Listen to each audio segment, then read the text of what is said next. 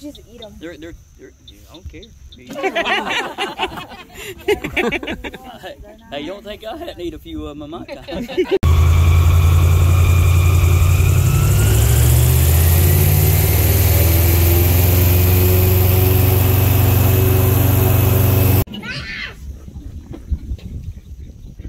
Oh, there he goes.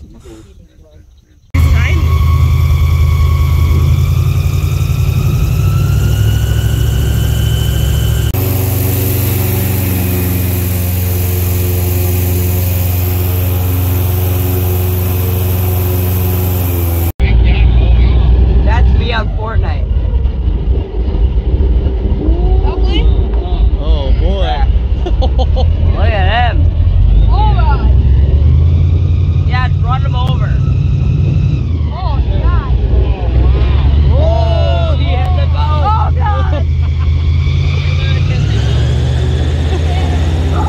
Oh my goodness.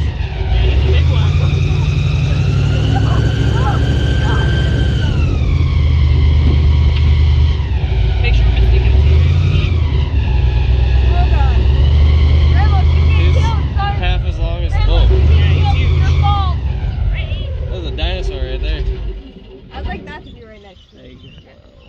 you go. That's a big boy. hissing. Yeah. That's a big boy. That looks like that? a real one.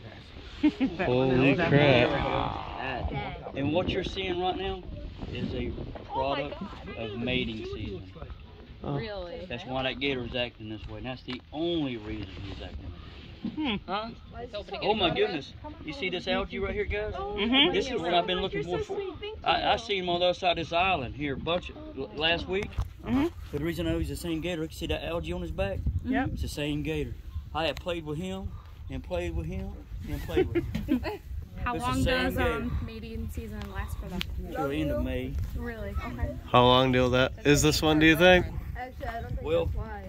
I'll let you guess from the from the bridge of his eyes to the end of his nose. Take those inches. What you think it is? Oh, uh, Alright, that's about a foot. Yes, A about a and a half? twelve foot gator. Twelve. Oh my god. Crap.